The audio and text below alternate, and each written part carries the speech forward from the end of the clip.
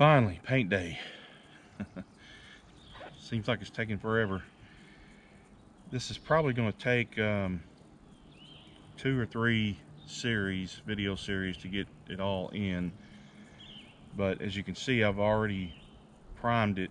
In the, in the past, I've used gesso, but I found a uh, product at Walmart, uh, Rust-Oleum. You can probably get it at Lowe's or, or um, Home Depot or any hardware store, but it's called Chalked. And it's an ultra matte paint. And this particular one is linen white. They make it different shades, but this one's linen white. And so I used it to, to prime this time instead of brushing on the gesso.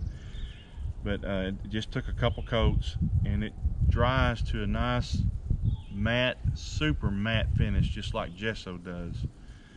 So I think I'm gonna like it. It's just smoother, so there's no brush strokes that the gesso leaves. And uh, it usually took two or three coats of gesso to get it to get it covered well. So, but I think I'm gonna like using this. Uh, I'm gonna be using the same paint that I always use, uh, the DecoArt that I get from Hobby Lobby. Uh, I have had trouble spraying that in airbrush in the past, but I'm going to do something a little bit different. I decided to go get some reducer to put in versus just using water. The reducer, what the reducer does is it helps it spray smoother and it dries quicker.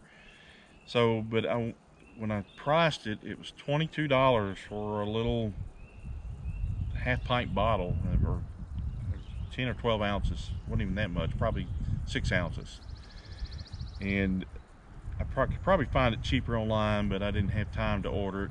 I'm ready to do this. So, but I remember seeing some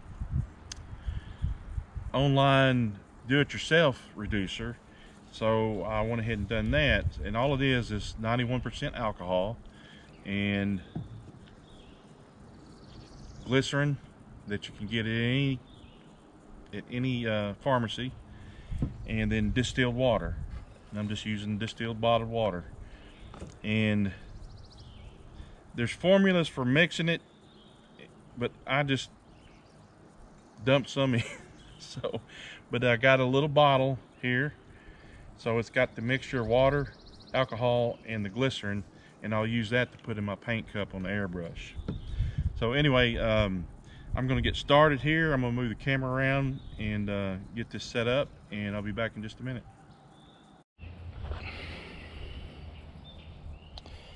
All right I've mixed up some uh,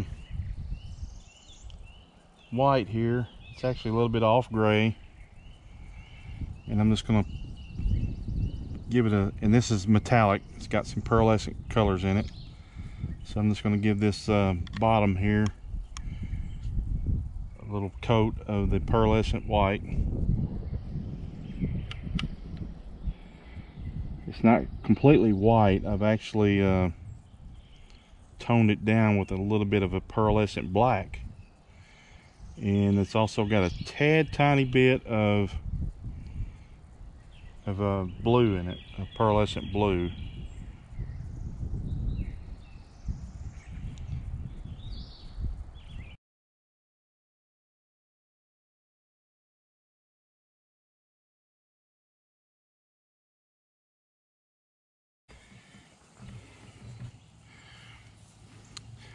Well, I was going to build up the colors with watercolor pencils and I still will but I was going to rely on those to do the yellow of the of the fish uh, the base coat yellow and then the light coat of the green on the back but um, I've got chicken so I'm going to go ahead and put the my first base coat down of yellow and then uh, and then start building on top of that because I want this to be smooth and uh, I don't think I can do that. I haven't experimented enough with the um, with the watercolor pencils yet to be comfortable doing it so I'm going to go ahead and do what I'm used to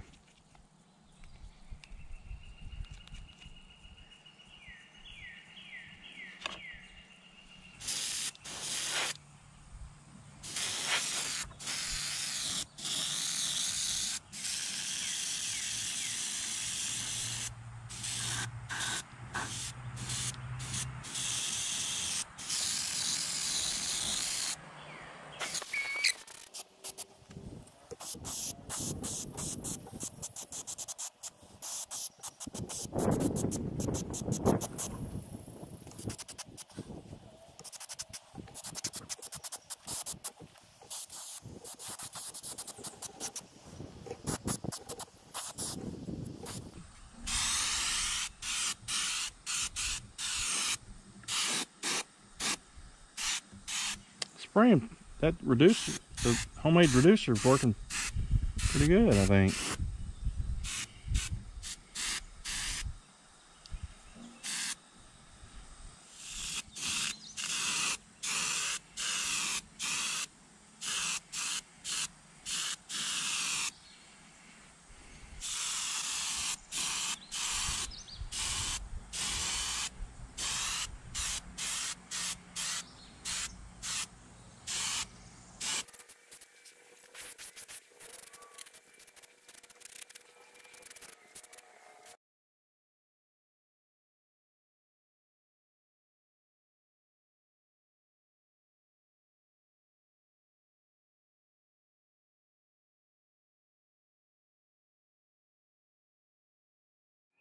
All right, I've got the um, the base coats airbrushed on, and I'm going to start doing the hand detailing now, and I'm going to be using acrylic paint and some uh, dry pigment powder to uh, put in some details and highlights. Uh, this is going to take me a couple days, so I probably will not show the whole process in the interest of time, just is because it's going to take so long. So when I come to a a detailed step, then I'll come on and explain what I'm doing and show you a little bit more what I'm doing uh, or how I'm doing that process. But other than that, I'm probably just going to do a lot of time lapse and uh, and just cutting and going to a different step and showing that that progress when I get to it. So anyway, I'm going to get the camera turned around here and get started on this, and uh, hope you enjoy it. All right. Um, I'm going to be taking these watercolor pencils and I've got a whole package here of all different colors. Of course, I'm going to be interested in the greens and the blues and the yellows. So, and then what I'll do is I'll just go in here and I'll lightly color on, get some pigment on there.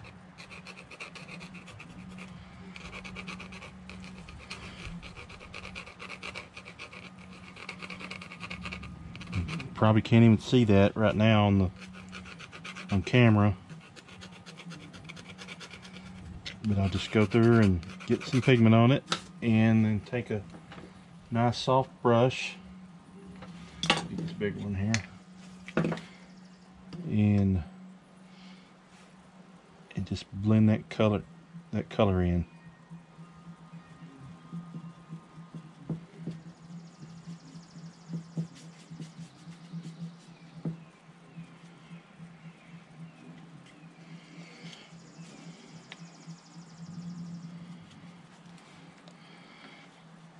that'll do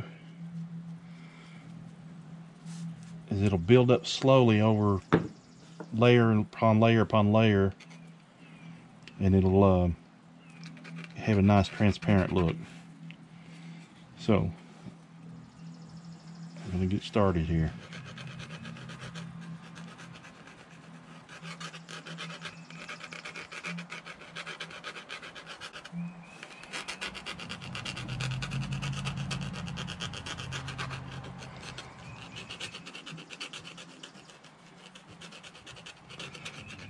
Just need to remember the, uh, I need to remember the uh, sequence I use these in so that I don't forget on the other side. I'm to start on, I'm starting on the non-show side.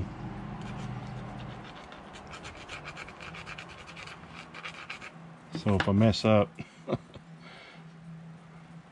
let's see, I need some paper towels here. Let me get me some.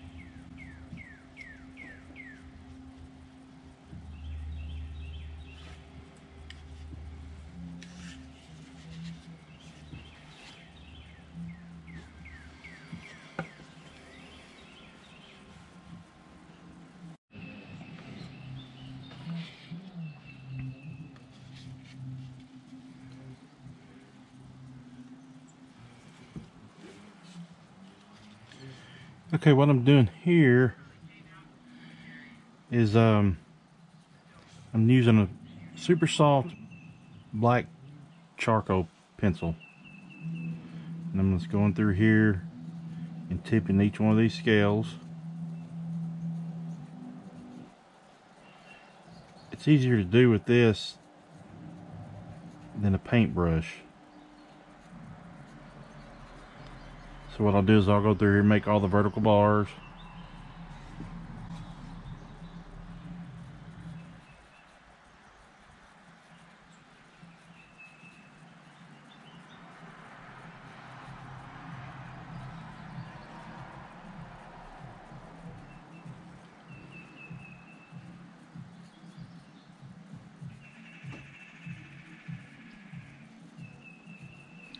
And then I'll take a, um, I've got like a super soft brush here.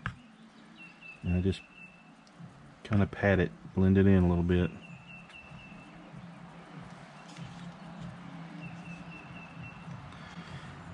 And I'll do that and get all the pattern in. And then I'll go back over them again with uh, just to darken them up a little bit. I may even just pat it with my finger a little bit. And also have, if you look at the scales real close, they have a, they have tiny little specks. And I've got this three thousandths tip ink um, drawing pen here. And I'll just go through and tap tiny little specks and dots on each scale. I don't know if that can even be seen or not. You could you'd be able to see it in person. Yeah, you can see it a little bit. But that's going to be time consuming because I'll go through each and every one of them and just put these tiny little specks on here.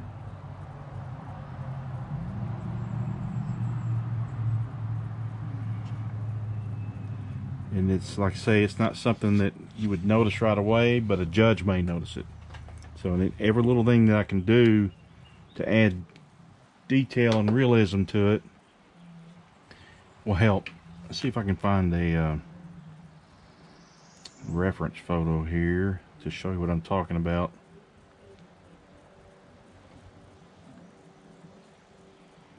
Uh, let's see here.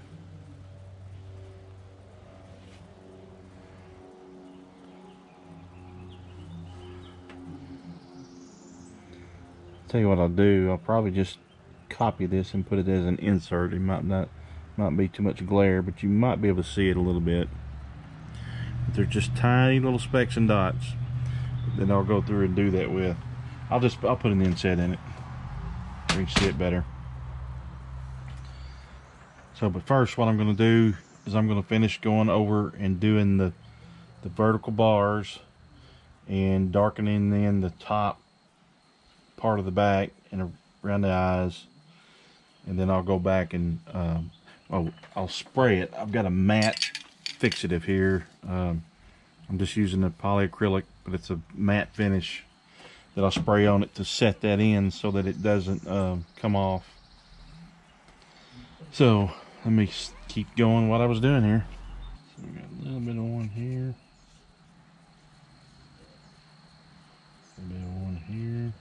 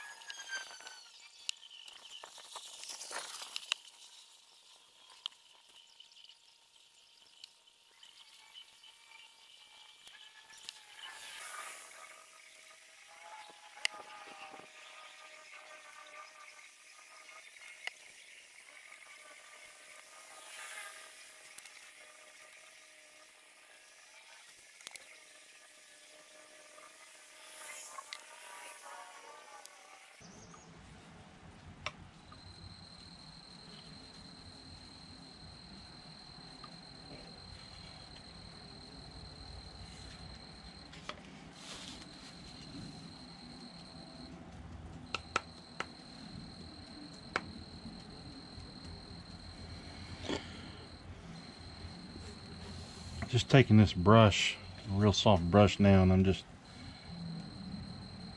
kind of blending, just blending this uh, black into the,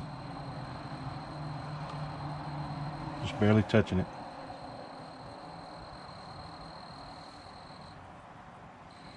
I'll go over it again in a minute to uh,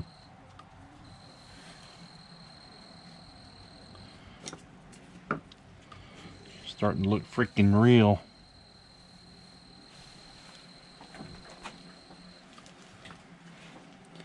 I like I think I like that better than the paint. Than trying to paint that pattern on.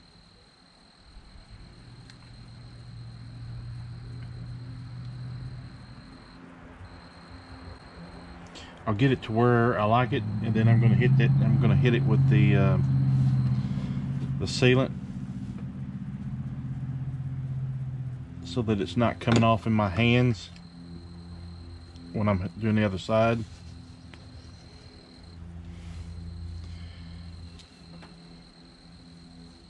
What do you think?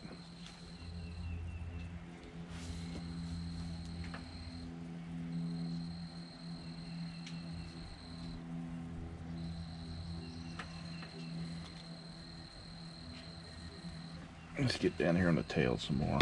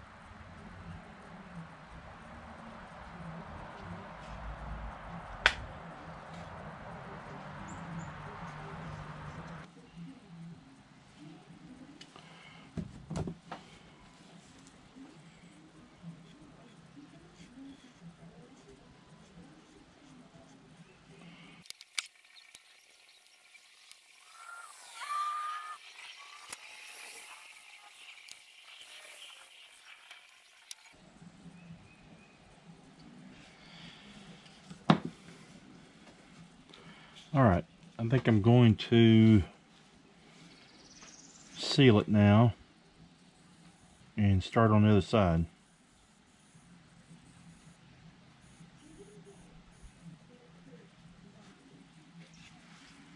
All right, I'll be back when I after I get that done.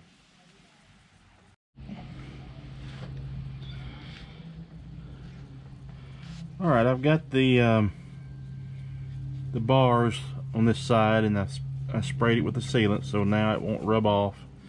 So now what I'm going to do is I'm going to go with, with this little uh, Micron ink pen. It's got a tiny, tiny, tiny tip on it. And I'm just going to go through here and start putting tiny little specks on these scales on the ones that don't have a dark pattern on. Like I say, that just gives it another little layer of realism that you may not see from across the room or when you first look at it, but hopefully the judges are going to see that and and realize the time was put in on it. So I'll show you how I'm doing this here. And then I'll uh, get off and so I'm just gonna come in here and just I don't know if you can see that or not.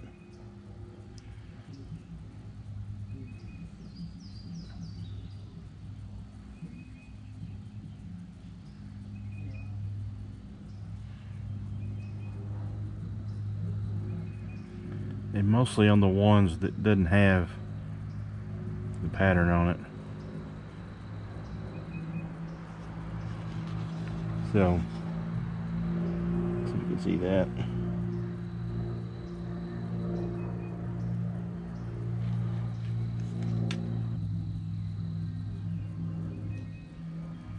So this is going to take a while.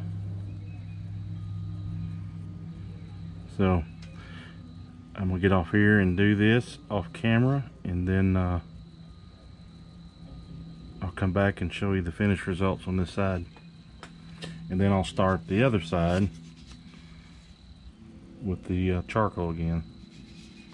So, all right, I'll be back.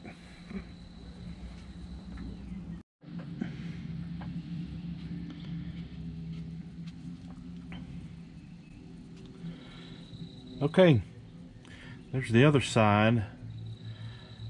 I still need to put the little dots with the pen on it but I'm going to I've got the black charcoal on here now and I'm going to um, seal it so that I can start putting the little dots on it. And then uh, I think that's going to wrap today up on this part so because I want it to set. And uh, I will start part 11 tomorrow and uh, probably be adding in some shimmer and shine. And then uh, probably going to be starting on the detail of the fins. They have the little white spots. So I'm going to bring these to their final color and then start putting the spots on them so but anyway I'll do that tomorrow on uh, on part 11 or is it part 10 I've lost track. So many parts and then I'm going to uh, at one some point I'll work on the mouth uh, inside the mouth also. But I'm gonna probably save that for last. But if you have any questions or comments again uh, feel free to leave them for me in the comment section. Uh, appreciate it if you would subscribe and uh, hit that thumbs up for me. And I will see y'all on part 11